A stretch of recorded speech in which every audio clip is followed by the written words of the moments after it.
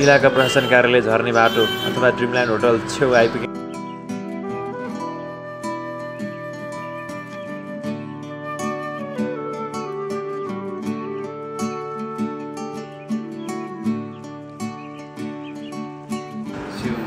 शिव मार्ग पनि छोड्यौँ हामीले।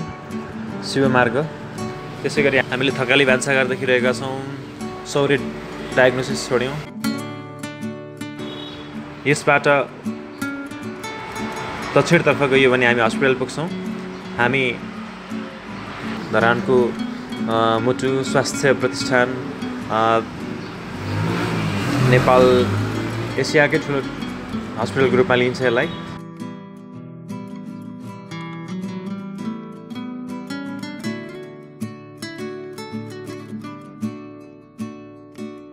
हस्पिटलतर्फ लागिरहेका छौँ। बुद्ध चोकबाट हामी ओह्रालो झरिरहेका छौँ।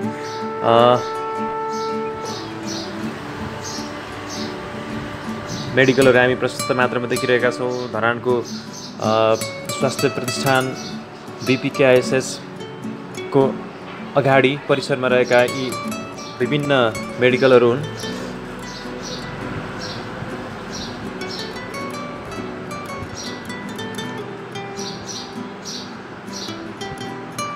ठ्याक्कै हामी बिपीको अगाडिको आँगनमा आइपुगेका छौँ?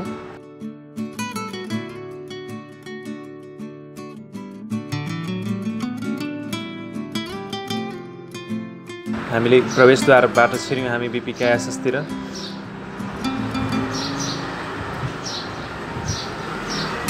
हजारौँ बिरामीहरू यहाँ सेवाग्राहीको रूपमा आएर उपचार गराउनुहुन्छ स्वास्थ्य बनेर जानुहुन्छ। यो स्वास्थ्यका लागि अत्यन्तै ठुलो योगदान साबित काम गरिरहेको छ। त्यसै गरी यो हेर्नलाई र घुम्नलाई पनि अत्यन्तै राम्रो वातावरण अनुकूल छ यस क्षेत्रमा। अहिले नयाँ संरचना पनि बनिरहेको छ। सुनिन्छ यहाँ अन्य कुनै स्वास्थ्यको संरचना बनिरहेको छ। हामी फर्क्यौँ। मनोरम फुलबारीहरू बाटोहरू हुँदै हामी सिरिजको फुलहरू हुँदै हामी फेरि पुनश्च हामी अन्य गन्तव्यतर्फ लागिरहेका छौँ।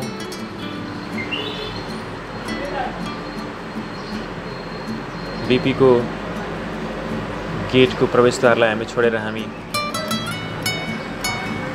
पश्चिमतर्फ लागिरहेका छौँ।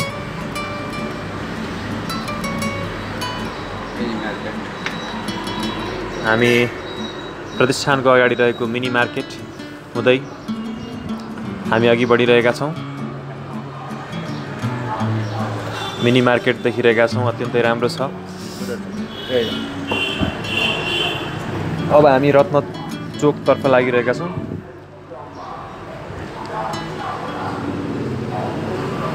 अघि बढ्ने क्रममा हामी अब रत्न चोकतर्फ लागिरहेका छौँ। यो पनि अत्यन्तै प्रसिद्ध र पुरानो चोक हो। अझै पनि हामी पुराना धरानको मौलिक घरहरू देखिरहेका छौँ काठको घरहरू। अत्यन्तै राम्रो घरहरू। जुन अवस्थामा धरानमा अत्यन्तै काठहरू पाइन्थ्यो सफाको काठहरू त्यही काठद्वारा निर्मित घरहरू हामी देखिरहेका छौँ। रत्नचोक आइपुगेका छौँ हामी। रत्नचोक मूल चोकमा हामी आइपुग्यौँ रत्नचोकको। यहाँ पुराना काठका घरहरू हामी देख्न पायौँ हामीले। त्यो अत्यन्तै मौलिक र पुरानो छ।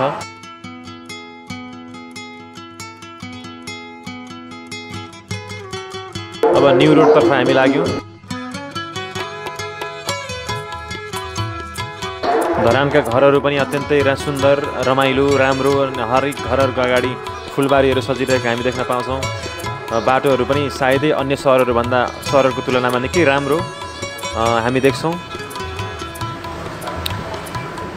विगत पुराना हामी अहिले ज्ञानोदय स्कुलको प्राङ्गण अगाडि हिँडिरहेका छौँ।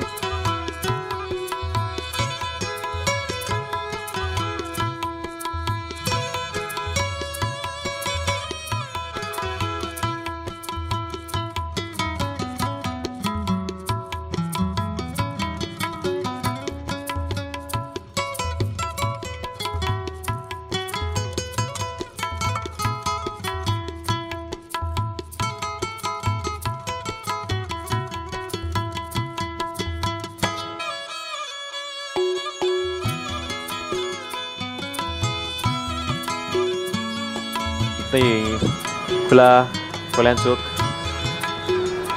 यहाँ पनि हामीले धरानको मौलिक घर देख्न सकिन्छ काठको देख्नुभयो होला तपाईँले त्यसै बिल्डिङहरू पनि टन्नै छन्।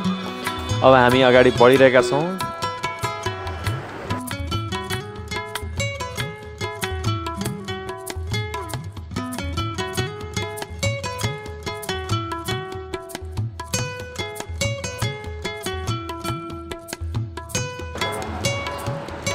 अब हामी दुर्गा चोकतर्फ लम्किँदैछौँ दुर्गा चोक आउन लागिरहेको छ।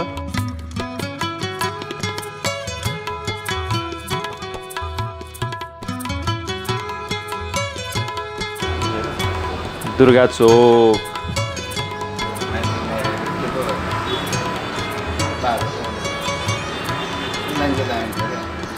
अब यहाँ अत्यन्तै राम्रो भ्यू देखिरहेका छौँ। धरानको सुन्दर घरहरू हामी देखिरहेका छौँ। स्वच्छ वातावरण।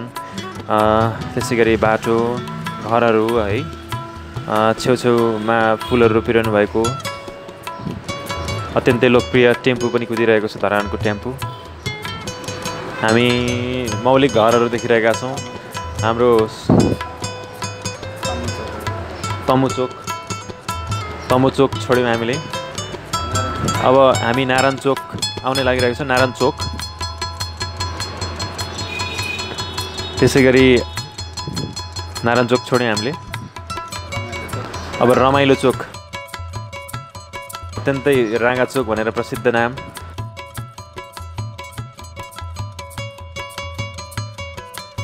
रमाइलो चोक हामी चोकेमा छौँ।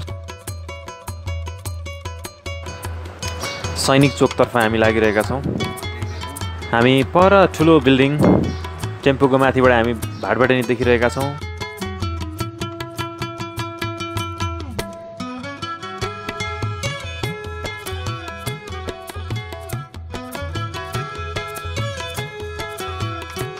रमाइलो छ भिआरसी मिट सप हामीले छोड्यौँ। टक्स माउन्टेन बाइक हुँदै हब बाइक त्यसै गरी प्रसिद्ध फोटो स्टुडियो अन्नपूर्ण फोटो स्टुडियोको नजिकमा आएका छौँ हामी। अहिले हामीले हामी स्टुडियोमा आइपुगेका छौँ। यो र यो भिजुअलाइजेसन पनि अन्नपूर्ण फोटो स्टुडियो का निर्देशक राजेश साक्यज्यूले गरिरहनु भएको छ।